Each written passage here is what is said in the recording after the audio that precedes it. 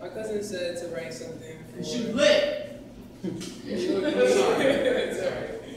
My cousin said to write something for um, Women's History Month.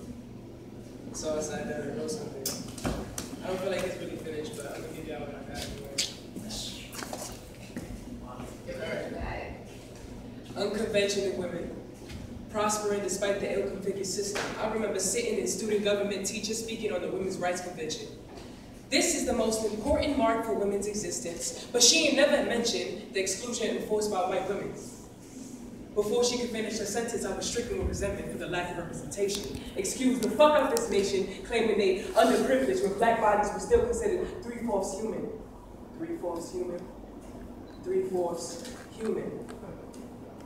Reflection on this advantage despite the absence of recognition that black women conceptually did not exist then. Women's rights dare to leap from lips via wonders of psychological dissonance. Where's the black woman relevance? Guess this country only seek to reap the capital through black women resilience, disembody her heritage, collect the culture like income checks and sell it right back to the community. Taxidermy of black bodies, what a business. Magazine models of body positivity. Black faces only in style when black bodies are not present. And must I mention the caucasity you motherfuckers have taken one month out of centuries to celebrate black existence. Breadcrumbs asking for gratefulness. That's what is.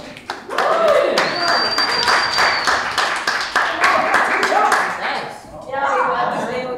I like the dictionary. What, what, what was that? The Caucasian? The Caucasian.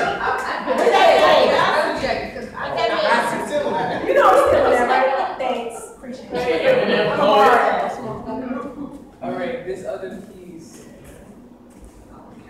I wrote uh, for also for women, I guess, are the way I don't know. It's just a piece. I don't know. Don't tag it, don't tag it.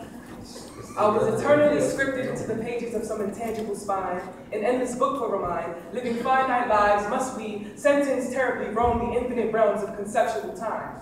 Confined by hellish chains burned into my skin, are the ladies of guys, Satan remains dressed in divine disguise. Your smile be a pretentious exhibition of your eager attempts to conceal your despise. For me, summer dream under the tamarind tree, ripened by, ripened by the philosophy of insanity.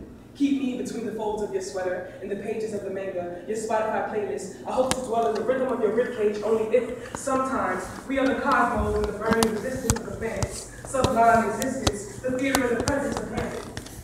Surreal to tell the difference between the past and the present. The real and the fabrication that has accompanied my aura.